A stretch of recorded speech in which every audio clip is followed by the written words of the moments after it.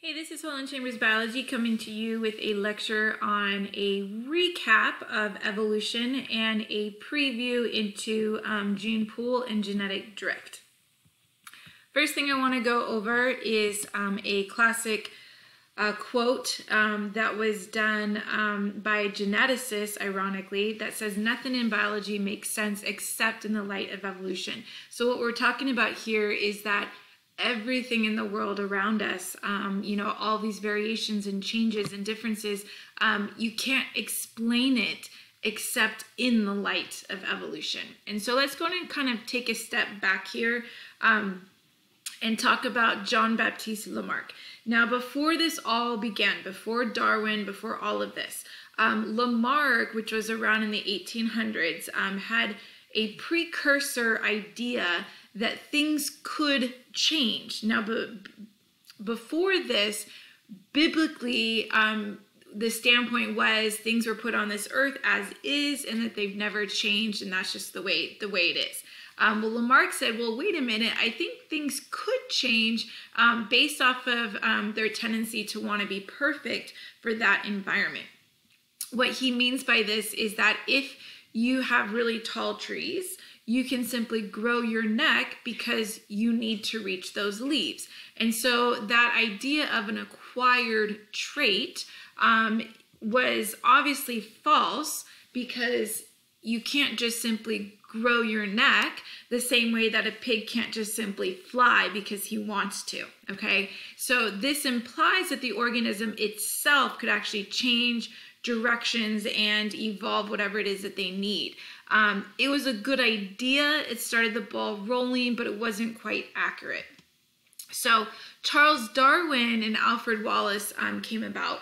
And ironically, they both came up with the same idea of natural selection literally at the same time. Darwin spent five years traveling around the world and designed this idea of natural selection, but then sat on it for 30 years, whereas Wallace went to um, Indonesia um, and studied animals that kind of corresponded between Asia and Australia and kind of noticed that there was a little bit of differences based off their environment. So Alfred Wallace wrote a paper about natural selection and that actually stimulated Darwin to go ahead and publish his book that he'd been sitting on for 30 years with the same idea. So, again, this is not just a Darwinian um, idea, other people came up with and um, did research on natural selection. Now, Darwin's theory was a result of many, many years. Like I said, it took him 30 years just to write the book, on top of the five years of traveling around the world. And what he was basing everything off of was these observations that he made. Now, both Wallace and Darwin came up with this idea that the environment is the agent of change, not you yourself. Okay, so a couple things I want you guys to remember, and this is from our lecture we did in class, but natural selection acts on your phenotype. Okay, so these are your physical variations that were due to mutations um, that can eventually lead to an entirely new species if isolated. Okay. We also need to remember that natural selection is the survival of the fittest. Now, to be fit means that you survive and you reproduce. So, if you're only reproducing one egg at a time, that might not be able to survive in the long run as a species. So, overproduction is also an agent in natural selection to help the species actually um, counteract that struggle for survival. Okay, remember adaptations um, you have is physical, behavioral, and functional. So either physical on the outside, um, behavioral is more mental, and then functional is on the inside. Um, and all of these will lead us to the ability to survive. Now, the one last thing that is an attribute in natural selection is catastrophes. Okay, so obviously, like an asteroid um, is going to cause massive, massive environmental changes and massive die out, but you have the ability for other animals to adapt and survive in that new changing environment, which is actually what happened with the mammal explosion right after the dinosaurs. Now, natural selection also allows for us to explain Darwin's finches. Now, the Galapagos finches has many, many different species, but they all originated from one original mainland species that got taken out to the Galapagos for some hurricane or, you know, something happened um, and brought them out to the islands. And then as a bird species, you're not all exactly the same. So some birds, because of competition, were like, hey, bro, why don't you go eat the nectar? I'm going to go over here and eat the insects. And so eventually they started to eat differently because of competition. They started to mate with those people that were in that area. So only mate with the nectar eaters or only eat, eat with, say, the cactus eaters. Um, and all of a sudden, given that reproductive isolation, over thousands, millions and thousands of years, um, eventually it evolves into all these different species that we see today. Now, this week, we're going to be looking at genetic drift um, as an activity. So this next lab that you're going to do um, is going to deal with all these aspects. So please keep in mind that your original population, guys, we're going back to Hardy Weinberg here, okay? Your original population is made up of allele frequencies. So how many species have specific genetic allele genotypes. Okay, so big A, big A, big A, little a, little a, little a. Um, and that, that gene pool is the pool of organisms that can actually interbreed together and result in viable offspring. So viable offspring means that the offspring can mate with others and reproduce children that can also have kids. Okay, so there's no point in having a child if that child can't have more children because it's going to injure um, species line. Okay, so gene pool is a pool of genetics within a species that can interbreed. Okay, so what happens is that we take that gene pool. So maybe it was a 20%, 50%, or maybe it was an 80 you know, 20%, whatever the ratio was of that genetic frequency, okay? And now we're gonna add in a chance event. Now, you guys are gonna be doing this in your lab. You're gonna actually be um, using um, M&Ms and we're gonna take um, a handful of M&Ms and we're gonna drag them out and slap them on an island. So we become the hurricane, the chance event.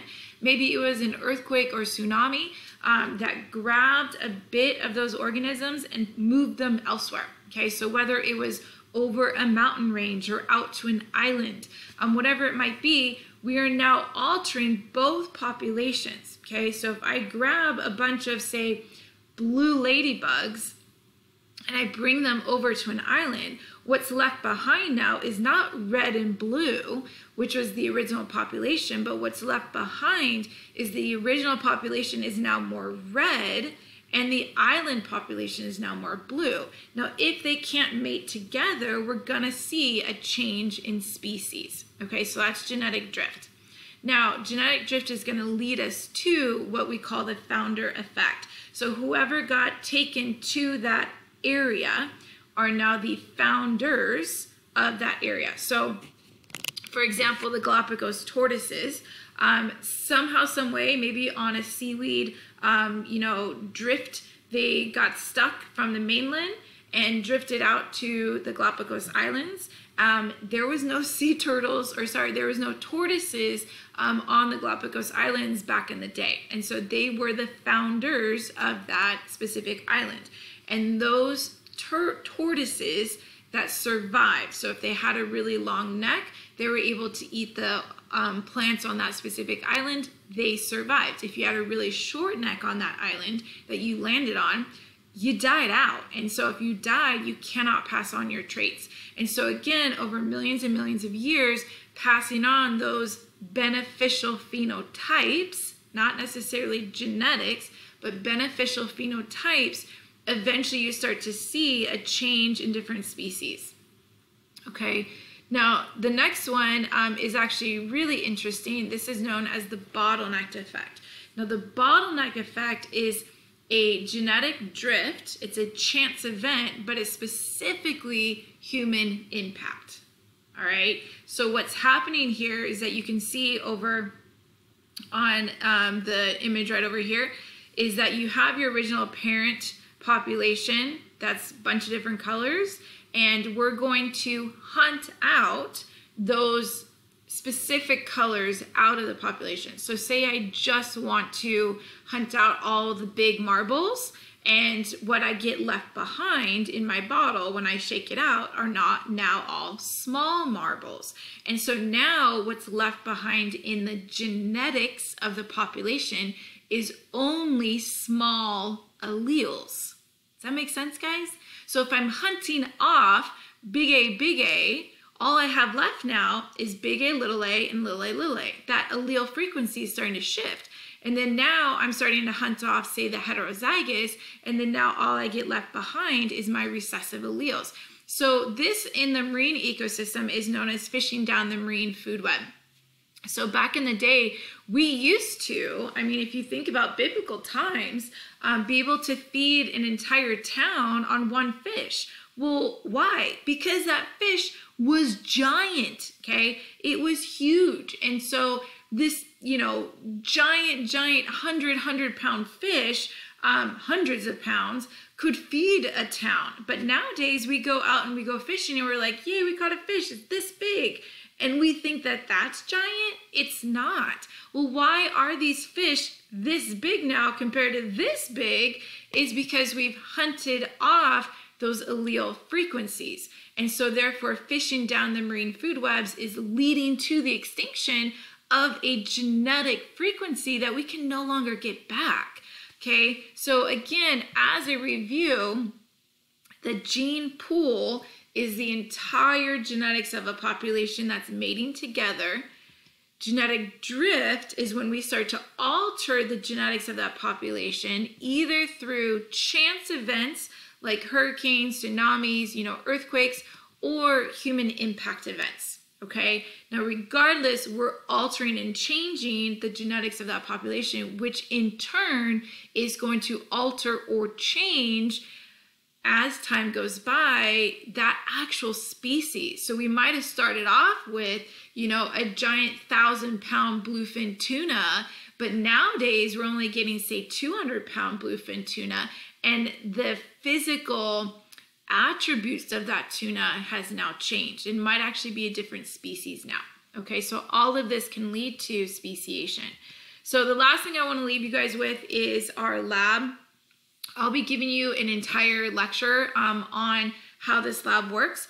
I will be doing the lab for you, so you don't need to get any M&Ms or anything like that. But I just want to emphasize that what we're going to be doing is reenacting this idea of genetic drift versus natural selection. Natural selection is when you are being best suited for that environment um, and it's not any chance events. It's just adaptation. Things are slowly changing, but it's not like a big event that's altering you guys, okay? And that's usually by luck. Um, keep in mind that you guys can always um, go back and watch Bozeman Science or Amoeba Sisters on genetic drift and gene pool. Um, they do a great job on that if you guys want more information. So otherwise, um, thank you for watching and hopefully you guys um, understand what's going on. And please remember to give me a shout out on either email or Instagram if you guys have any questions. Um, Instagram is Holen Chambers Biology, and remember my email is just through School Loop if you guys have any questions. So um, that's it. So thanks for watching. This is Holen Chambers Biology.